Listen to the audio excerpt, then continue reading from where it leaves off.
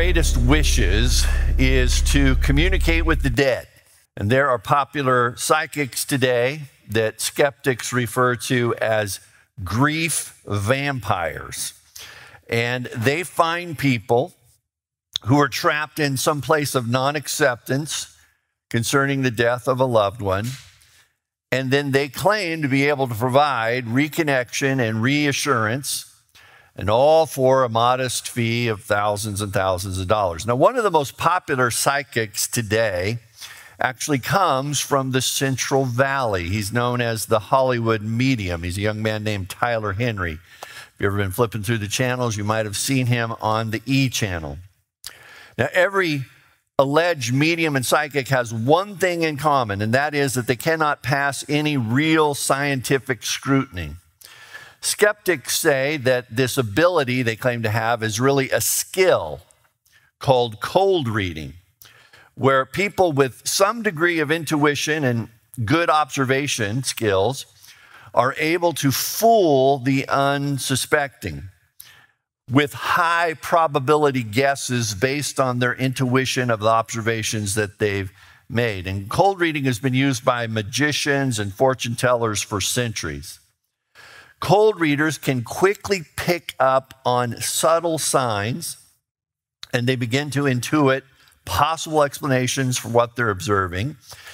And then they start to express what it is they have observed, and they quickly also pick up on whether they are on the right track or not. And if they're not on the right track, then they change course very quickly. If they make any right guesses, which eventually they all seem to do, all the wrong guesses they made are quickly forgotten, as if it never happened. Psychologists believe that this appears to work because the cold reader, masquerading as a psychic, merely confirms the biases of the person who has come for the reading. They at some point intuit correctly what this person actually wants them to say. And the simple truth of the matter is that many magicians can easily duplicate what these so called psychics claim is a real ability. And a good magician can fool even the smartest of people. They can amaze people with their seeming ability to read minds, to identify the contents of hidden messages and drawings and things like that. Of course, we all know if these magicians and psychics actually possessed any real ability, they would not be doing holiday parties. They would be out there winning the lottery or finding a cure for some terrible disease. Charlatans have been around for a long time, and sometimes their deception can last for a long time. In modern times, the family that brought this to America is a family known as the John Fox family. In the early 1800s, they moved uh, to Hydesville, New York. John Fox's two youngest daughters, Margaret and Kate, began to hear these inexplicable knockings in various parts of the house. Young Kate tried to contact the spirit world, which, which was causing all this commotion, allegedly. When she snapped her fingers, the spirit would knock in response on cue. And Kate and Margaret devised a way to communicate with the spirit world by coded rappings. And they said they had contacted a spirit named Charles Rosma, who supposedly had been murdered by a former tenant. And when they later found portions of a human skeleton in the Fox's cellar, the Fox sisters gained worldwide attention. Sounds like maybe they should have been investigating the Foxes for other things, but anyway, they found these human remains in the cellar and they said, oh, these girls, they really truly have this ability. And scientists of that day came and investigated the Fox sisters and they were perplexed. They could never explain these strange knockings. The famous New York editor Horace Greeley also came, and he went away completely baffled. And after a mere 86 years, the Fox sisters finally acknowledged that they were frauds and that they had produced the strange sound of the knockings by, wait for it, cracking their toe joints. That's how they did it. They cracked their toe joints, and apparently they could crack them so loud it sounded like knockings. And when they went to theaters to perform this, Margaret would stand up on a table, Kate would ask questions, and then Margaret would crack her toes in response to Kate's questions, and people were, they were believing it. Now, despite the fraud that is discovered again and again in Spiritism, people are continually drawn to it for some reason. And unfortunately, in today's text, King Saul seeks reassurance from a person who claims to be able to speak to the dead. Now, before we get into that, David also finds himself suffering the consequences of his insipid plan to fix his own problems. As it turns out, as it usually does, when we try to fix our own problems, we just make matters worse, and that's exactly what he does. So let's turn our Bibles to chapter 28 of 1 Samuel. Beginning in verse 1, we read In those days, the Philistines gathered their forces to fight against Israel. Achish said to David, you must understand that you and your men will accompany me in the army. You ever find out that sometimes your deception has worked just a little too well? And so it is with David. He had tried to convince this king of the Philistines, Achish, of his loyalty to him and his estrangement from Israel by lying about the raids that he was going on, suggesting that he was raiding the enemies of the Philistines, when in fact he was actually raiding the enemies of Israel. And unfortunately for David, Achish is now convinced. So much so that Achish thinks David will now follow him even into battle against the nation of Israel. Achish's desire to fight Israel might even be based upon David's defection to the Philistine territory. He must think, wow, if one of their top military persons is now coming to my territory, this might be a good time to go fight the nation of Israel. And David gives this very weird response to what Achish says in verse 2 Then you will see for yourself what your servant can do. What, what does he mean? That's somewhat ambiguous. Achish replied, Very well, I will make you my bodyguard for life. Now, whatever David actually meant, Achish takes the remark as consent and promotes David on the spot. Things are getting even worse for David. It promotes him to his main bodyguard. And these two verses actually set up chapter 29. But again, we find this principle at play that once our sin starts like a rock rolling downhill, it gains momentum with each and every bound it takes, which brings us to someone who's on a real downward slide, and that is Saul. Verse 3 Now Samuel was dead, and all Israel had mourned for him and buried him in his own town of Ramah. Saul had expelled the mediums and spiritists from the land. The Philistines assembled and came up and set up camp at Shunem, while Saul gathered all the Israelites and set up camp at Gilboa. When Saul saw the Philistine army, he was afraid. Terror filled his heart. He inquired of the Lord, but the Lord did not answer him by dreams or Urim or prophets. Dreams were sometimes used by God to reveal his will.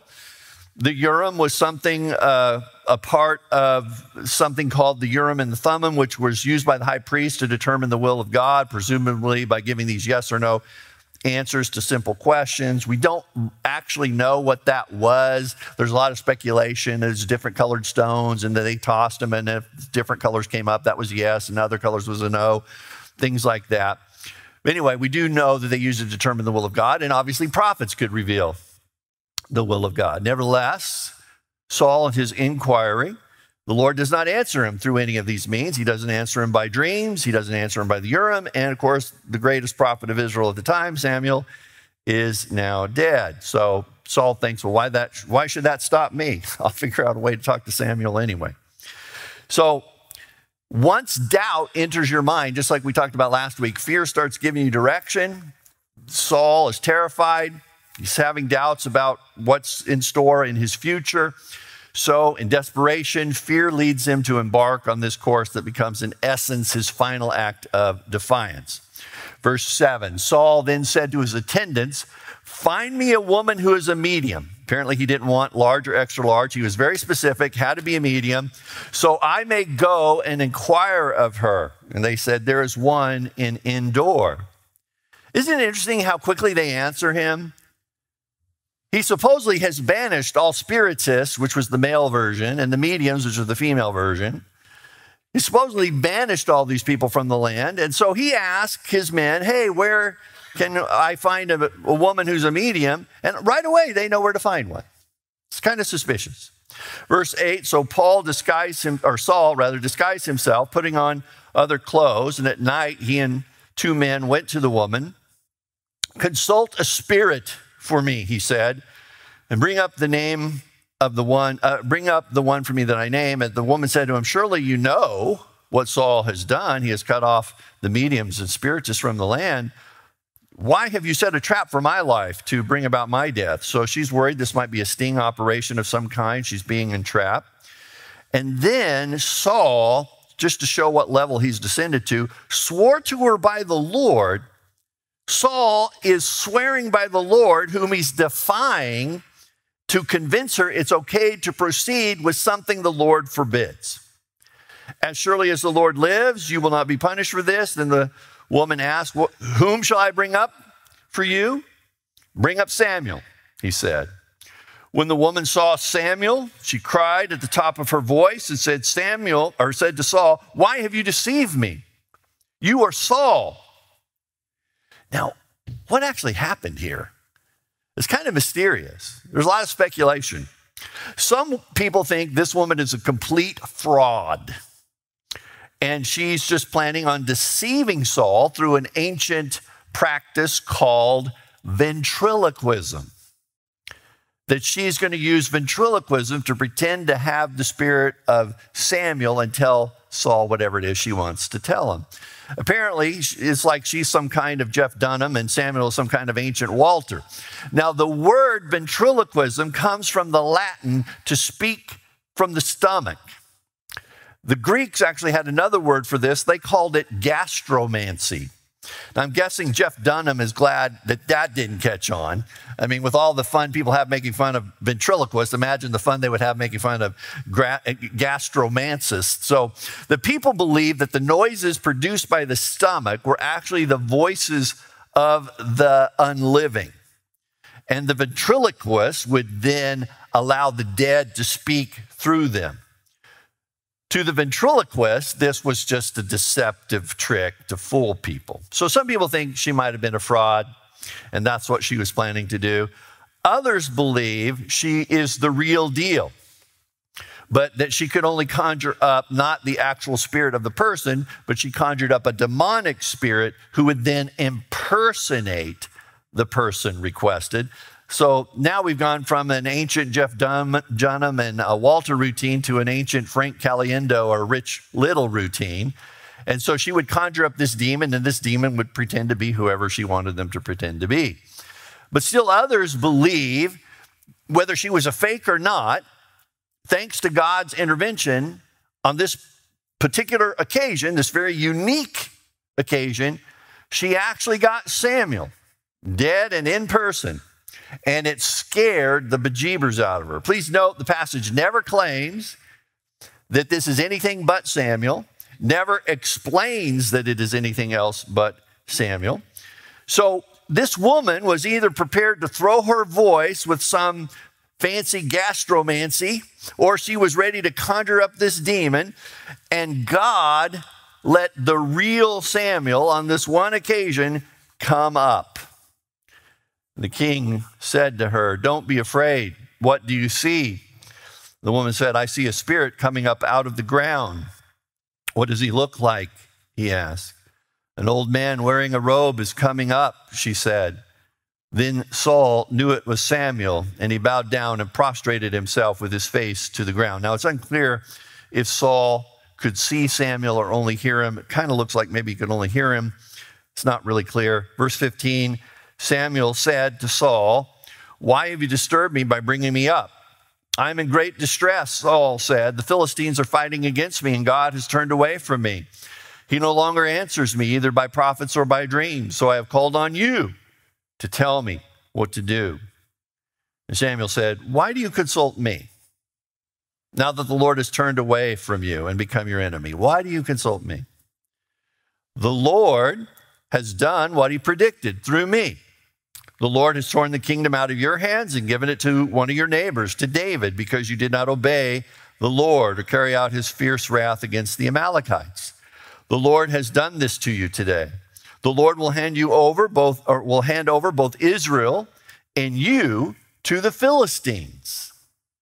And tomorrow you and your sons will be with me. The Lord will also hand over the army of Israel to the Philistines. And immediately Saul fell full length on the ground, filled with fear. See, it didn't help him. He went there because he was terrified. Now he's even more terrified. Filled with fear because of Samuel's words. His strength was gone, for he'd eaten nothing all that day and night. Some people think that he had fasted because it was part of the ritual. Some people think he was just so upset he didn't eat. When the woman came to Saul and saw that he was greatly shaken, she said, Look, your maidservant has obeyed you. I took my life in my hands and did what you told me to do. Now, please listen to your servant and let me give you some food so that you may eat and have the strength to go on your way. He refused and said, I will not eat. But his men joined the woman in urging him, and he listened to them, and he got up from the ground and he sat on the couch. The woman had a fattened calf at her house, so apparently the medium business paid well, which she butchered at once. She took some flour, kneaded it, and baked bread without yeast. Then she set it before Saul and his men, and they ate. That same night, they got up and left. Okay, now, what observations and applications can we get from this? Well, let's start off with the obvious one. A lot of people have this question Can the dead communicate with the living? And the answer is no. Not without coffee, they definitely cannot. No. The Bible seems to indicate that this is not allowed. And we get a lot of this from the story Jesus tells in Luke 16.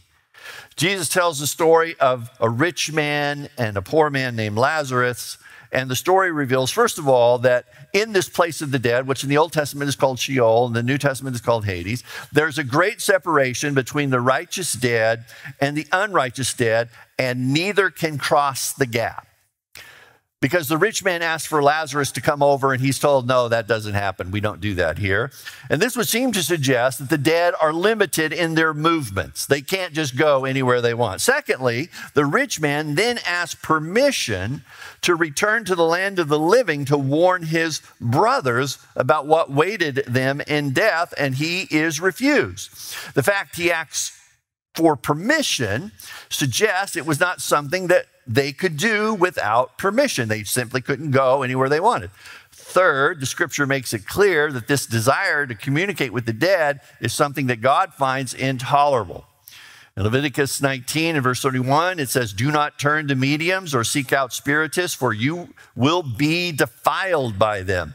I am the Lord your God.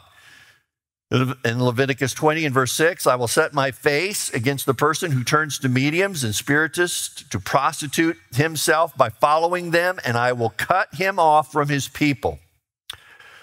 Rudyard Kipling, the British laureate, wrote a warning with reference to this very passage of scripture. He wrote a piece called The Road to Endor. In the very end of that, he says, Oh, the road to Endor is the oldest road and the craziest road of all. Straight it runs to the witch's abode, as it did in the days of Saul. And nothing is changed of the sorrow in store for such as go down the road to Endor. The two biggest problems with speaking with the dead are summarized rather nicely by the prophet Isaiah in Isaiah 8 and verse 19. When men tell you to consult mediums and spiritists who whisper and mutter, should not a people inquire of their God? Why consult the dead on behalf of the living? So we see that, first of all, God wants us to inquire of Him, first of all. And secondly, why would the living consult the dead about matters of life? What are the reasons that most people want to communicate with the dead in our culture. Often it's because they want to put to death their, their own fear of death. And they are seeking confirmation that it's possible for them to have a happy afterlife without all that God and Jesus baggage. In fact, many modern movies promote this. Meet Joe Black, What Dreams May Come, Ghost, City of Angels, and so on and so forth. They all could aptly be renamed How to Go to Heaven Without Jesus. There are those who are interested in a future peace and comfort without God in the afterlife, just as they were seeking peace and comfort in this life without God. Spiritualism excludes getting guidance from God because it is more interested in a religion of unrestricted supernaturalism that makes no moral demands on a person. Consequently, there's no repentance required, and the grace of God is completely unnecessary. Now, it would be easy for all of us at this point to feel very self righteous and superior to those knuckleheads that go about trying to seek advice from the dead because we would never do that. But we do seek the advice of the living sometimes on behalf of the living before we go and inquire of God. Do we not? So when Saul sought peace and comfort and assurance from something other than God, that was bad. And it's bad when we do it too. The Lord should be our first response, not our last resort. The second application is if you don't respond to the truth revealed and receive the grace given, you have no one to blame but yourself. The difference between Saul and David is most evident in the way they respond when their sin is revealed. Whenever Saul's sins are revealed, he rationalizes, he makes excuses. He's always guilty with an explanation. And because of that, he never ad- really admits his sin. And so, because he doesn't admit his sin, he won't commit his sins to the Lord for the Lord's grace and mercy. Whenever David's sins were revealed, although sometimes it took a while, he admitted his guilt and then would commit himself to the mercy and grace of God. In other words, David responded when the truth about his sin was revealed, and so he was now in a position to receive the grace and mercy that was offered. And when it came to sin, David never went there too often, he never stayed there too long. Mostly, he drifted. Occasionally, he doubted. On a handful of occasions, his faith was dampened to the point of despair. But usually, when confronted, no matter to what level of disobedience he had descended to, at some point he would repent and return to the Lord. Saul never does this. He always offers excuses and he is eventually destroyed by his sin. You have heard me say on more than one occasion the sins you are not broken over, you will be broken by. If there is some sin in your life right now that you are not broken over, the time will come when you will be broken by that sin because that is all sin knows how to do is to pull us down into destruction. And Saul had waited too long. The weight of his sin kept pulling him ever further downward. It kept dragging him further and further from God until finally, we've also talked about this. If you're unwilling to repent long enough, you reach a point where you're unable to repent. And Saul had reached that point. In his stubbornness, he had been unwilling to repent for so long, he now completely lacked the ability to repent, and his sin destroyed him. Whatever you are unwilling to do, if you're unwilling to do it long enough, you will eventually become unable to do. And that's not only true for Saul, that's true for you, and that's true for me. In First Chronicles, we're given a quick summation of Saul's downfall. In chapter 10 and verse 13, it says, Saul died. Why? Because he was unfaithful to the Lord. How? He did not keep the word of the Lord and even consulted a medium for guidance and did not inquire of the Lord. So the Lord put him to death and turned the kingdom over to David, son of Jesse. Now, some of you may be thinking, well, wait a minute. It says at the beginning of this story that Saul did try to inquire of the Lord, and the Lord would not answer him. But the reason is, is because Saul would never deal with his sin. He inquired of the Lord without admitting and committing his sins to the Lord. So, in that sense, as far as the Lord's concerned, he's not really inquiring of the Lord. The third application is why do people consult the dead on behalf of the living? You remember this guy from the 70s used to be on TV all the time when you're flipping through the channels and you had the psychic network?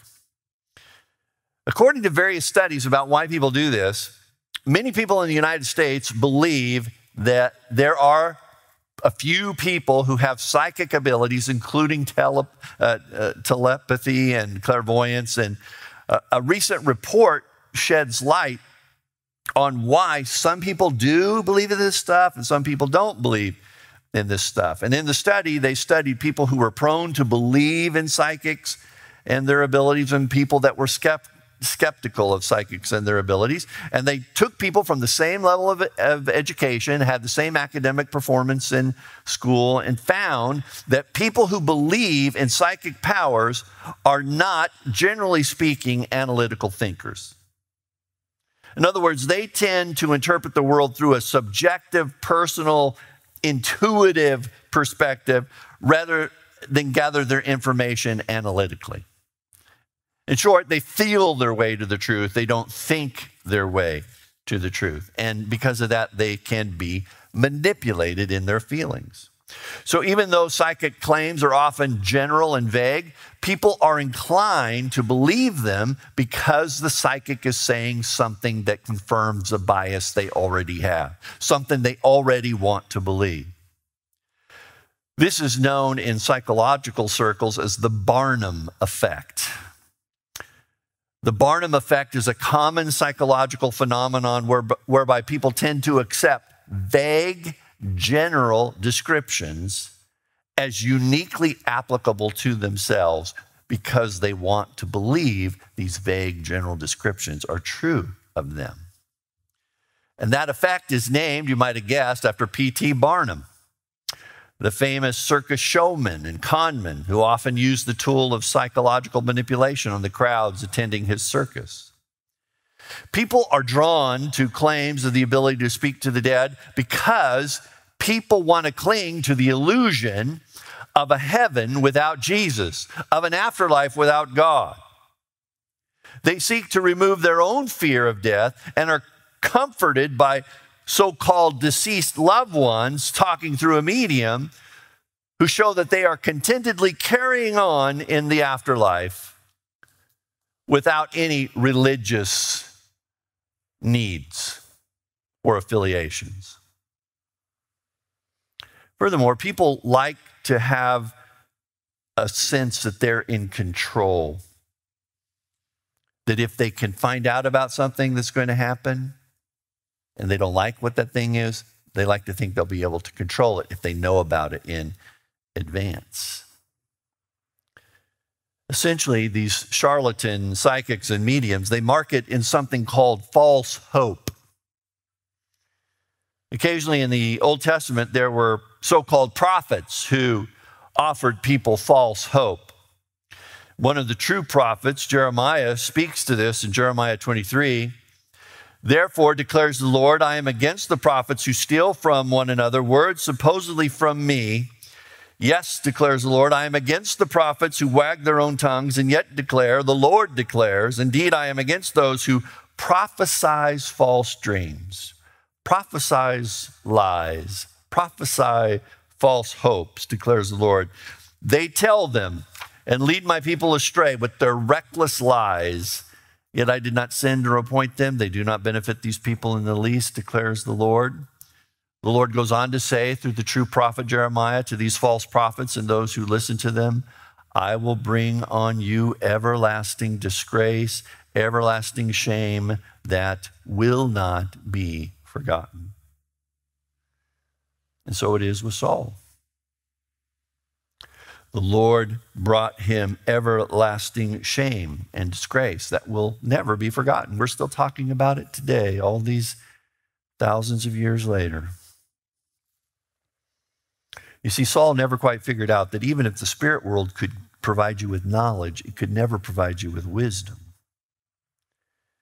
And I've noticed that in a lot of time travel movies, it has this premise that if you know something is going to happen, you can try to change it. And I think this is basically what Saul is trying to do. He thinks if he knows the battle, how it's going to go tomorrow, then he can somehow, because he knows how it's going to go, that he can change how it goes. But he cannot. And instead, he just seals his own fate with his disobedience and sin. He was unwilling to admit his sins and so he never committed those sins to the Lord's grace and mercy. He never asked for forgiveness. His unwillingness to repent led to his inability to repent. Paul mentions the possibility of having a seared conscience in 1 Timothy 4. In verse 2, he says, Such teachings come through hypocritical liars whose consciences have been seared as with a hot iron. Earlier in the book of 1 Timothy, Paul wrote in 1 Timothy 1 5 that the goal of this command and the command that he has in mind is the command not to teach false doctrines, false hopes, false lies, is love. And that that comes from a pure heart. It comes from a good conscience. It comes from a sincere faith. And so in that verse, we see that Paul made a connection between authentic faith and a good conscience.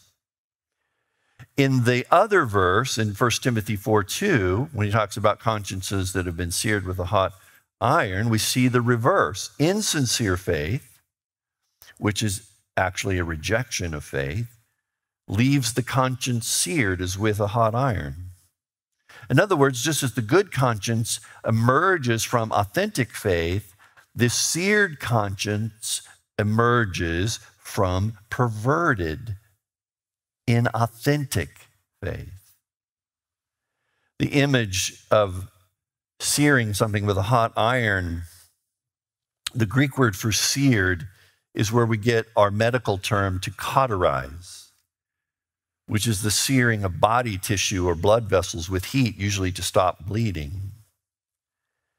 And sometimes in the process of cauterizing a wound, feeling will be lost because thick scarring occurs. And Paul's point is that people who traffic in false faith and false doctrine and false hope quickly develop thickly scarred consciences so that they can no longer have feelings of remorse or regret. And that is where Saul's sin has left him in shame, in disgrace. For as Rudyard Kipling said, the end of the road to Endor is sorrow. Let's go to the Lord in prayer. Praise team can come forward at this time. Lord, as we now consider your word, it's kind of a bizarre little story that we read of today. But there are a lot of lessons there to learn. Even for us that don't go to mediums and spiritists, we sometimes gather our experts before we go to you. You are often our last resort instead of our first response. After we've tried all these other things to fix our problems or understand our situation, we suddenly think, oh, maybe I should go talk to the Lord about this, when that should have been the very first thing that we did. So we should be careful in being too judgmental of Saul course, there's a lesson in Saul and his refusal to ever admit his sins. The Proverbs say that he who tries to hide a sin will not prosper, and certainly Saul never prospered because he kept trying to hide his sins. And hidden sins cannot be healed. Sins have to be exposed to the light to get healing. We have to come to you in confession and admit that we are off the rails, that we are headed in the wrong direction. This is sadly where Saul could never he could never get there in his pride and in his arrogance. David was different. Saul is attempting to try to control his future apart from you, basically. And what we're discovering with David is that he's in a place where he also doesn't know his future. Certainly, he has got himself into a mess. But he is learning the lesson of why it is important to patiently wait for the Lord. It's not an, a lesson that David is learning easily. But he is more receptive to learning that lesson than certainly Saul ever was. And this is why Saul, end of his life, is found in shame and in disgrace. For the end of the road to Endor is sorrow. But David, at the end of his life, he is exalted. He is loved. he experiences the joy of life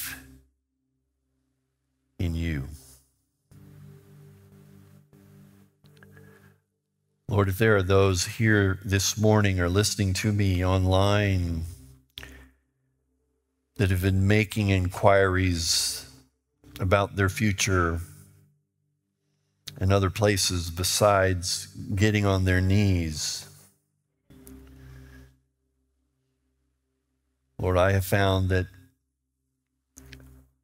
I often can't get back on my feet until I've gotten down on my knees. And I pray that they will find the courage and strength they need to admit their sins, commit their sins to your grace and forgiveness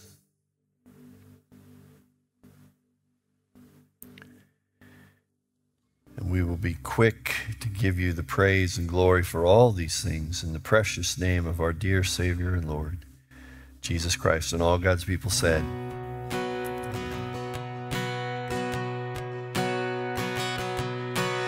You stood before creation, eternity in your hand. You spoke the earth into motion, my soul now to stand.